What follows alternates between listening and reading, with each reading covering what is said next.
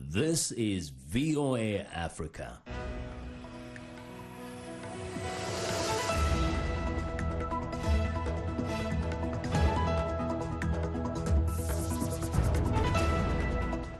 Good evening, I'm Esther Githui-Ewart. It's Wednesday, July 17th. This is Africa 54. Sudan's military council and the pro-democracy coalition sign a power-sharing deal to officially end the political turmoil. Survivors and analysts of the Democratic Republic of Congo's violence talk about the decades-old conflict in Ituri and Kivu provinces that just won't stop. And online retail e-commerce platform Jumia Food targets lower-income earners in its quest to dominate the African market.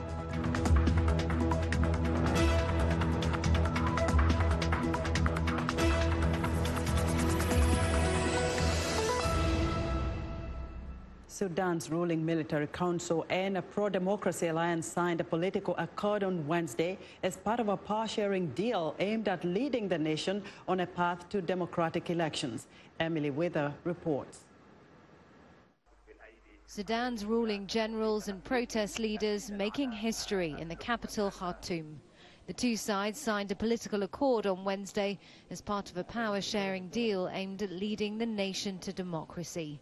The agreement was reached earlier this month, but after a series of delays, talks ran late into the night as final details were ironed out. The deal is meant to pave the way to a political transition in Sudan after military leaders ousted former President Omar al-Bashir in April. It followed weeks of protests against him and a deadly crackdown. This gathering at the weekend was the first demonstration since a power-sharing agreement was reached. Tens of thousands of protesters marked 40 days since security forces killed dozens when they stormed a protest camp in Khartoum. They want those responsible for the killings to be held to account. That could prove a sticking point in future talks, and there are still many obstacles to overcome. The sides are working on a constitutional declaration, which is expected to be signed on Friday. That was Emily Wither of Reuters reporting. Now, for more on the signed peace deal, reporter Naba Muhyiddin joins me on the phone from Khartoum. Good evening, Naba. The much anticipated peace deal has finally been inked. What's the reaction in Khartoum? Uh, good evening. The reaction for Khartoum, uh, people, uh, some people are, are, celebrating, but the celebration is not very big.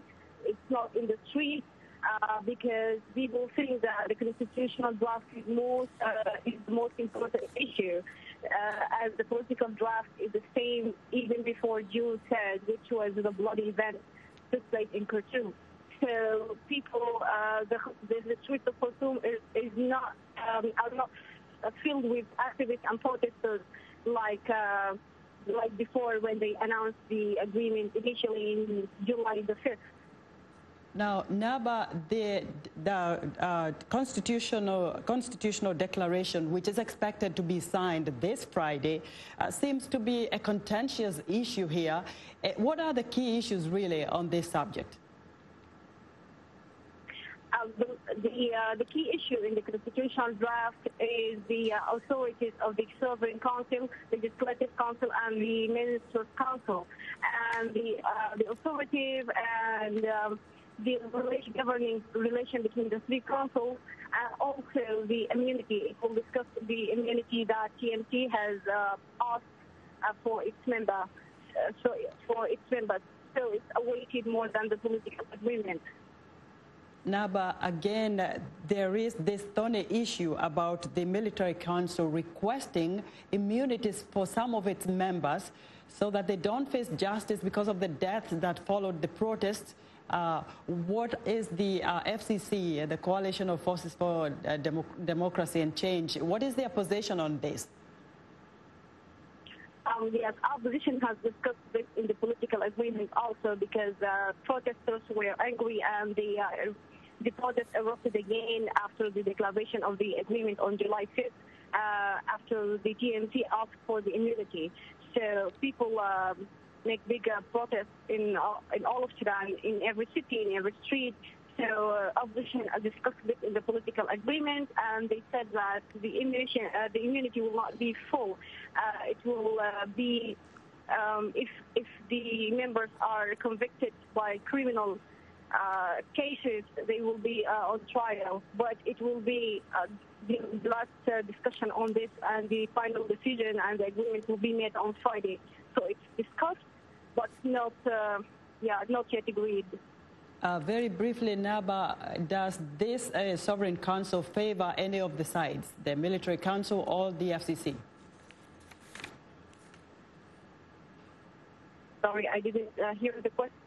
All right, Naba, we're running out of time, but we'll touch base again. Thank you very much. Naba Muhideen is a Khartoum-based reporter. Now, for decades, the Eastern Democratic Republic of Congo, especially the Ituri and North Kivu provinces, have endured ethnic violence, leaving thousands dead and many more seeking refuge in neighboring countries. Halima Athumani spoke with some survivors of DRC violence at a refugee settlement in western Uganda and with analysts about why the conflict continues. 54-year-old Mamoyo Chantal has lived in a Ugandan refugee settlement for six years now after fleeing violence in Congo's North Kivu province. When she arrived, Chantal found long-lost family members who had fled the same region during what's known as the First Congo War in 1996 and 1997. Chantal explains why she thinks fighting has persisted since the end of the 32-year rule of the late Mobutu Sese Seko. He held the country like he owned it all alone. During the fighting, it seems they discovered that Congo has minerals, so everyone is now fighting for the wealth in Congo.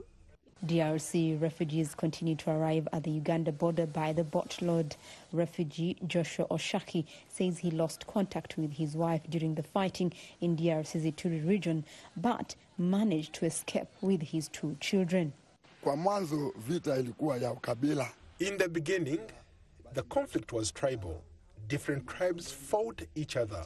The Hema and the Lendu would be joined by the Wangiti and other tribes. They would kill each other Currently, the fighting has faces of government soldiers and civilians. Even as the DRC's people struggle to survive, the country is considered one of the richest countries in the world in mineral wealth. But critics say few benefits are harnessed by the state for ordinary people, while mining companies and the elite get rich. Who supports the, the strong militiamen, the individuals who hold sway in the, in the vast lands of controlling properties and areas. Who does that? So certainly foreign powers are involved. Certainly countries neighboring DRC are involved. All of them, they have interests in a DRC that is not as stable as it should be. Last week, Presidents Paul Kagame of Rwanda, Yoweri Museveni of Uganda, Joao Lourenco of Angola, and Congo President Felix Tshisekedi held a meeting in Luanda to discuss, among others, the security situation in the Great Lakes region. The three countries plus Burundi and Eritrea, escalated the 1996 conflict in Congo, then known as Zaire, either by sending state forces or backing militia groups to defeat various rebel groups based in Congo. It's not clear yet whether the meeting will yield any new effort to end the suffering of Congolese people who have to flee their homes. Halima Athumani for VOA News, Hoima, Uganda. Deforestation has devastated many African countries, but in the West African nation of Niger, more than 200 million new trees have sprung up in recent decades. These trees, mainly a variety known locally as gao, weren't planted. Instead, they were protected by Nigerian farmers who realized the trees were assets to agriculture and animal feed. Moki Edwin Kindzeka narrates this report by Anne Nzwankeo.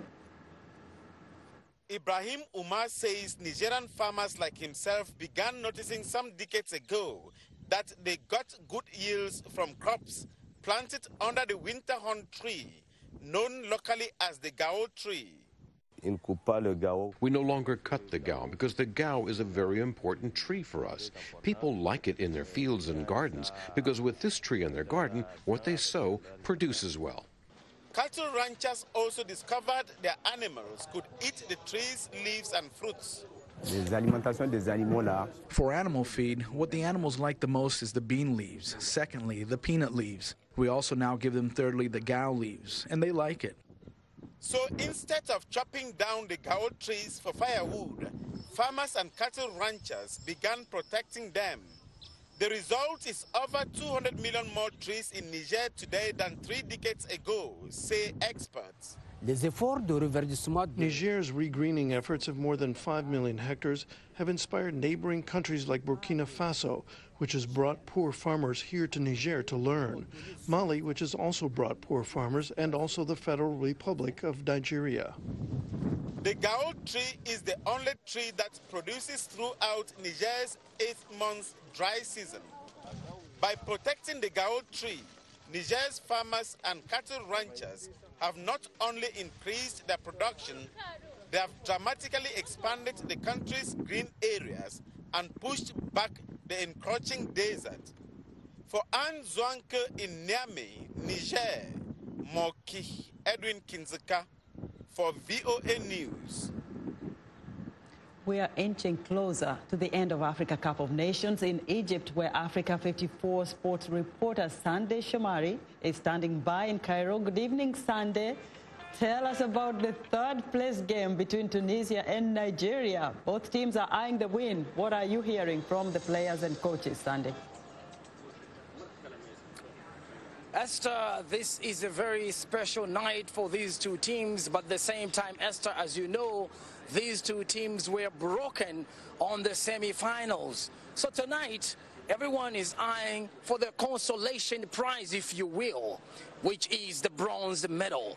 Now, on the other side, this is a fight of the Eagles. Carthage Eagles from Tunisia and Super Eagles from Nigeria, Esther. And what are, what are they saying tonight is that Nigerian coach says this is a very important game because they need consolation to go back home. And also their international player, Mikel Obi, probably this is the last international game. He won't be playing for the national team anymore. So it's very important for Nigeria and John Mikel Obi. On the same note, Tunisian side is complaining, blaming the new system VAR that denied them a penalty kick against the last match of the semi-final.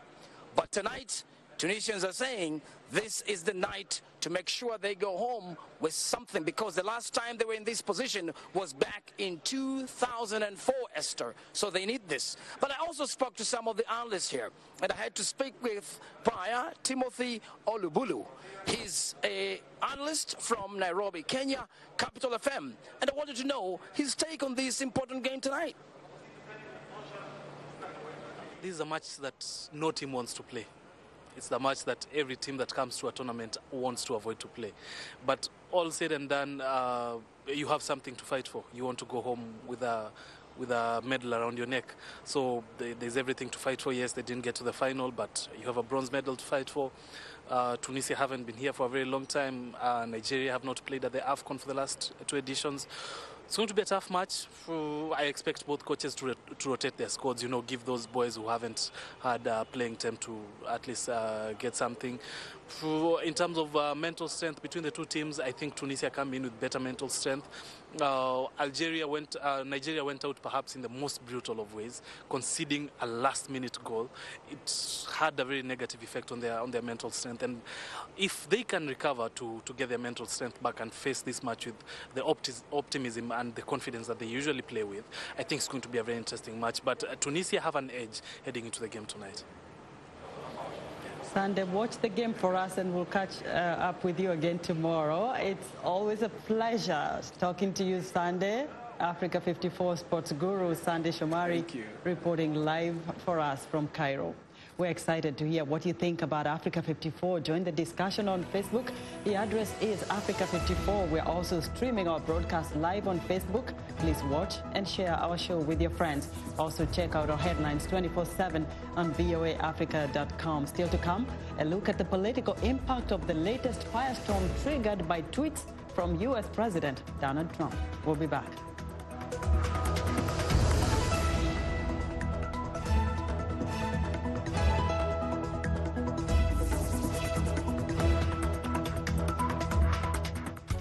Shaka Ssali, host and senior editor of VOA's international call-in talk show, Straight Talk Africa. Today we'll examine the tobacco industry. We pretty much touch on anything that you can think of. Politics, health issues, human rights issues, you name it, we talk about it.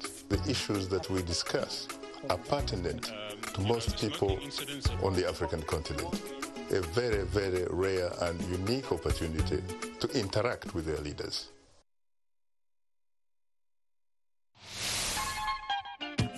Lyrics could be French, English, Portuguese, Bantu, Arabic. It is the beat. The African beat that counts. The beat does all the translations. It cuts across all languages and gives us the understanding that this is the African beat.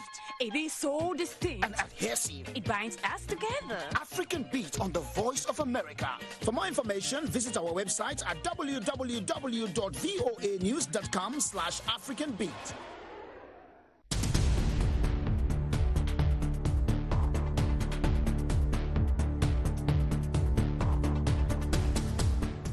Now, in U.S. political news, four Republicans joined every Democrat in the U.S. House of Representatives Tuesday evening to approve a resolution condemning racist remarks made by President Donald Trump about four minority Democratic congresswomen. Africa 54's Vincent Makori has the details. The House resolution, which passed 240 to 187, strongly condemns Trump's racist comments that have legitimized and increased fear and hatred of new Americans and people of color. House Speaker Nancy Pelosi called for the chamber to unite in condemning the president's racist tweets. These comments from the White House are disgraceful and disgusting, and these comments are racist. How shameful to hear him continue to defend those offensive words, words that we have all heard him repeat not only about our members, but about countless others. Our caucus will continue to forcefully respond to those attacks on our members, which reflect a fundamental disrespect for the beautiful diversity of America. The majority of Republicans rejected the resolution that condemned the president from Um, their party. The very essence of the, the resolution, which has issues uh, beyond, needs to be considered. And when we do this, then I think, as I said in my opening, and I'll stick by what I said then, that this needs to be voted down. This does not need to go forward, and we need to get to a certain time when we are back to literally doing the people's business. Trump, who has been under fire since making the comments in a tweet Sunday, has not backed down. He tweeted praise for the Republicans who voted against the resolution and to continue his criticism of Congresswomen Ilhan Omar, Alexandria Ocasio Cortez, Ayanna Presley, and Rashida Tlaib. Trump, who has said the lawmakers should leave the United States, was asked earlier Tuesday where they should go. It's up to them. Go wherever they want, or they can stay. But they should love our country. They shouldn't hate our country. Trump set off a firestorm by telling the four Democratic lawmakers to go back to their countries and fix their homelands before they attack him and the United States, although all four are U.S. citizens, with Somali refugee Omar a neutralized U.S. citizen. The targets of Trump's attacks appeared before reporters Monday in a collective and blistering show of force to rebut the president's attacks against them. Africa 54 managing editor Vincent Makori with that report. Now, President Donald Trump and many of his Republican allies in the U.S. Congress are on the defensive after critics deplored what they said were racist comments by, and tweets by the president urging four Democratic Congresswomen to return to their home countries for being critical of the U.S. All four of the lawmakers are U.S. citizens, and three of them were born here in the U.S. This latest firestorm has exposed sharp divides on politics, on politics rather, and race in America. Here's VOA's Jim Malone. At the White House, a defiant President Trump stood by previous comments urging four women Democratic House members to leave the country if they are unhappy. You look at what they've said. I, I have clips right here.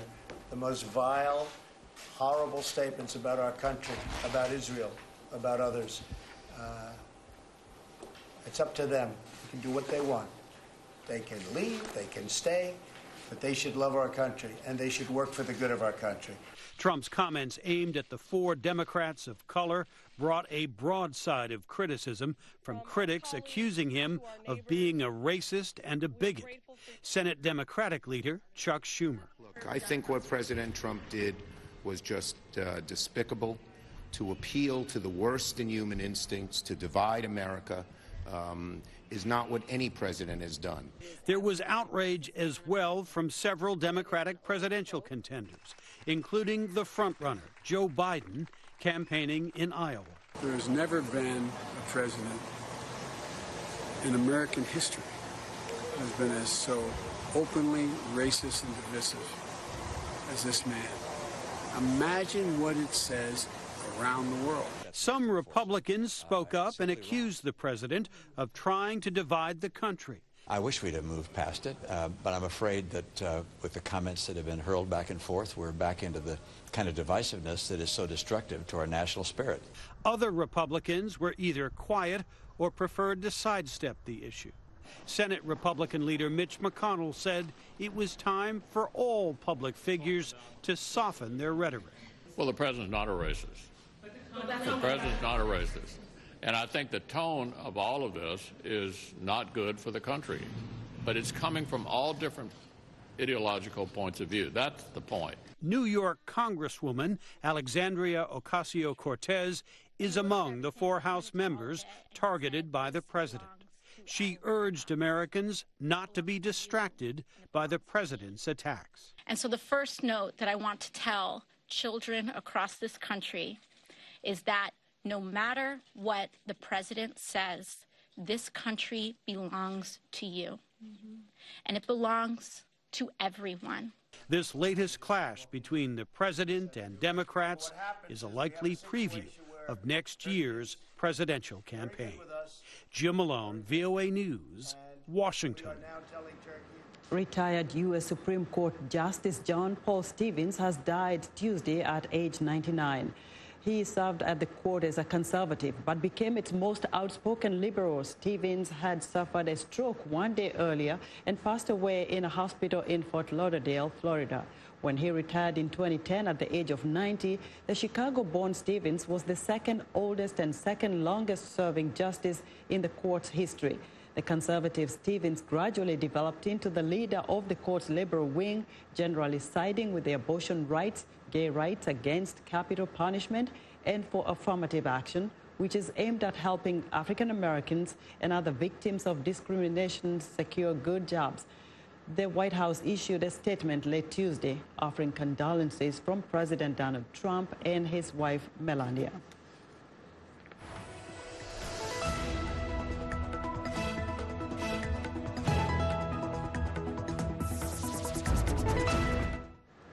It's time for our technology segment, and joining us now is our tech reporter, Paul Ndiho, with the news on the rising uh, retail markets in the continent. Paul. Uh, thanks, uh, Esther. Online retail stores that target the middle class are on the rise in Africa. The stores are aiming to meet a demand for products that our conventional stores appear to be struggling to satisfy. But Jumia Food, as a unit of Jumia Technologies, is looking beyond the middle class and plan to offer cheaper options to attract lower income earners. Jumia is Africa's largest e-commerce platform uh, primarily for electronics, fashion, and appliances that connect sellers with consumers.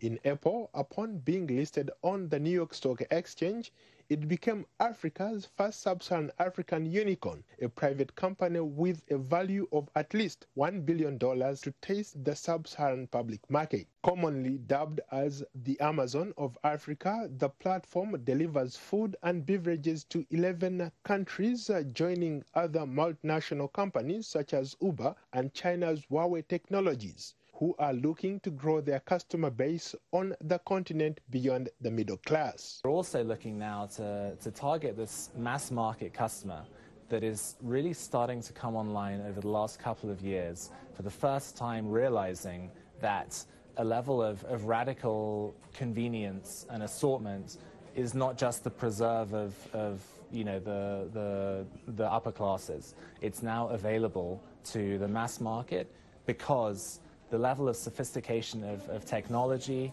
um, the level of experience that we now bring to on demand means that we can hit a price point that's attractive to them. Jumia Food has 1 million customers across 30 African cities, uh, including Lagos and Casablanca. Kenya, however, is its biggest market. Its platform there has 4,000 restaurants uh, offering everything from local cuisine to international fast foods from the likes of KFC, Pizza Hut, and McDonald's. Jumia follows Uber, which introduced low-cost quick trip option called Chap Chap to users in Kenya in 2018. It has also added a motorcycle service in Uganda and rickshaw in Tanzania. You know, five years ago, six years ago, I considered this to be a, a food delivery business. Uh, and what happened over the years is that we built up a very large base of customers and we developed an extremely deep expertise in on demand delivery uh, technology. And when you have those two assets, uh, you know, we recognize that food is probably the, the biggest opportunity that we have in the market, but we can leverage those assets to serve customers in other areas.